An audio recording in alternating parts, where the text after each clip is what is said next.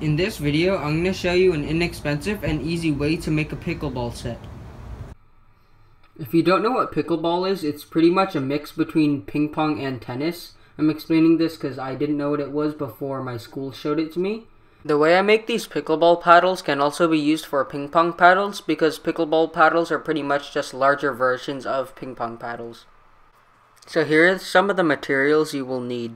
Lucky for me, I got the plywood for just $9. I got Baltic birch plywood from Rockler because they had a sale. But usually if you want Baltic birch plywood, it would cost more than just $9 for a size like that.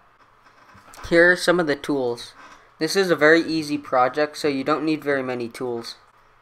So let's get started.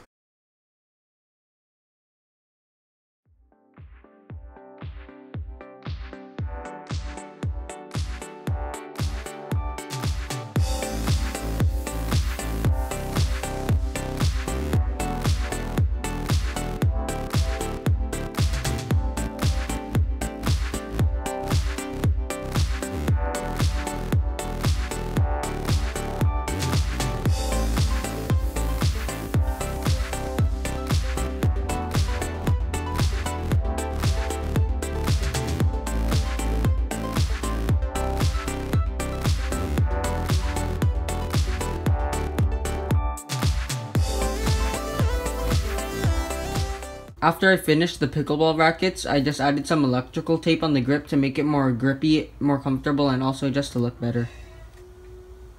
The school took down their pickleball courts for the summer, so I had to put up my own net. So first of all, I got a $25 net off of Amazon, which is cheap compared to the other options. And then I tied that to uh, PVC for the posts.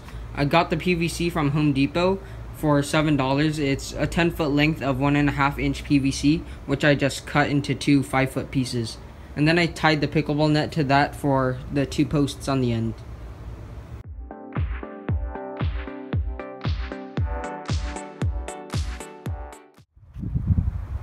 So that's pretty much all you have to know to make your own pickleball set.